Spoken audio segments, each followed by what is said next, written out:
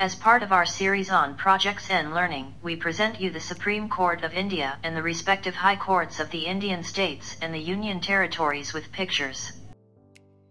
The Supreme Court of India and the High Courts together constitute the Indian judiciary. We start with the apex court that is the Supreme Court of India.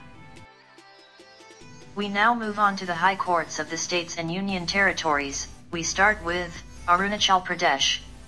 The state of with Arunachal Pradesh falls under the jurisdiction of the High Court of Assam. Andaman Nicobar Islands is an union territory and is under the jurisdiction of the High Court of West Bengal. High Court of Andhra Pradesh. High Court of Assam. High Court of Bihar. High Court of Chhattisgarh. High Court of Chandigarh. High Court of Delhi. The Union Territory of Dadra and Nagar Haveli comes under the jurisdiction of the High Court of Maharashtra. The Union Territory of Daman and Diu falls under the jurisdiction of the High Court of Maharashtra. High Court of Gujarat. The state of Goa falls under the jurisdiction of the High Court of Maharashtra. High Court of Haryana. High Court of Himachal Pradesh. High Court of Jharkhand the High Court of Jammu and Kashmir, High Court of Karnataka, High Court of Kerala. The newly created Union Territory of Ladakh comes under the High Court of Jammu and Kashmir. The Union Territory of Lakshadweep Islands is under the jurisdiction of the High Court of Kerala.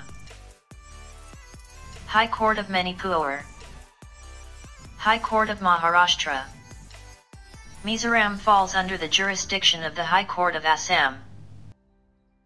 High Court of Madhya Pradesh. High Court of Meghalaya. Nagaland Bench. Nagaland falls under the jurisdiction of under the High Court of Assam. High Court of Orissa. High Court of Punjab. High Court of Pondicherry. High Court of Rajasthan. High Court of Sikkim. High Court of Tripura, High Court of Telangana, High Court of Tamil Nadu, High Court of Uttar Pradesh, High Court of Uttarakhand, High Court of West Bengal,